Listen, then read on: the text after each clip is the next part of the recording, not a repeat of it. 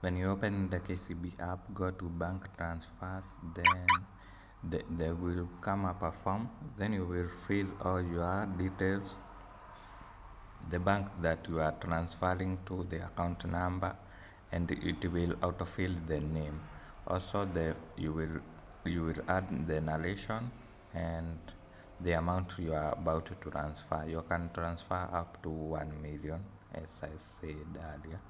And have censored my amount part in kikuyu we don't show pesa jua. So after that it is just a simple process and you input your pin and if you if if if you finish all that the KCB will give you a message. Also the PesaLink will give you a message